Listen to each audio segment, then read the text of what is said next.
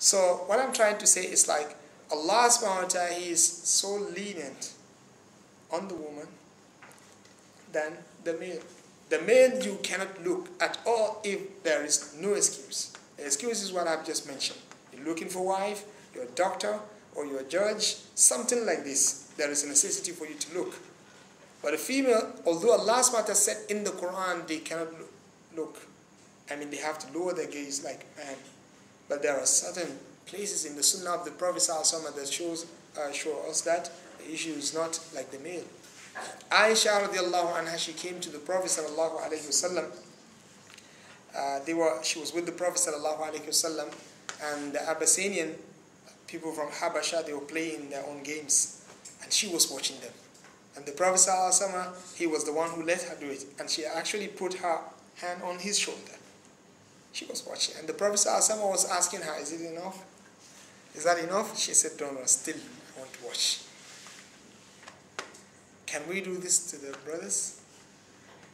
You let the brother come female, they're playing football or something, you let the brothers. I always ask this question if you're going to be honest, if you're going to be honest, if you have, I mean, male, they're playing football, and you have a group of women they're watching, what are they watching? Honestly speaking, they're watching what? The game. Yeah, they're watching the game.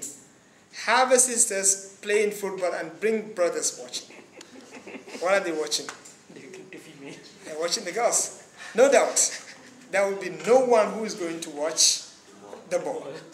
They watch. That's why you will see if you are playing football, how many girls you will see surrounding you? One, two, three watching. If girls are playing football and, uh, and it is halal for everyone to go, who is going to remain in this room? No hmm. one. Yeah. That's why one of our lecturers, he said, one of the reasons why Islam doesn't let women to make adhan is because of what? The voice. Come to the masjid in UI and some, sometimes you see even the first line is not even full. Believe me, ask one of the sisters to make adhan. Even the non-believers, you will see them in the masjid. This is true. You will see everyone coming to see who is this. This is reality, this is fact. This is fact.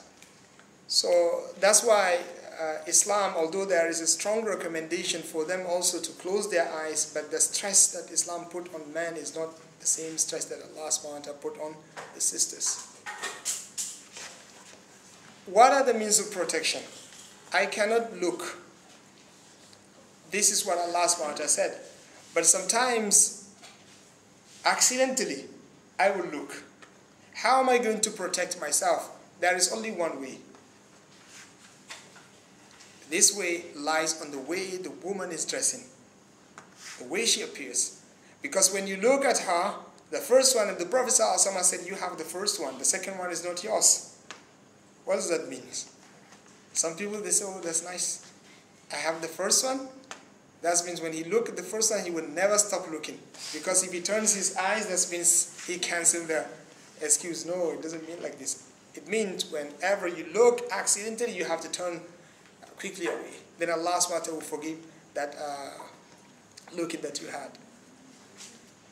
So, but the problem is, if the woman is not dressing properly, the attraction will be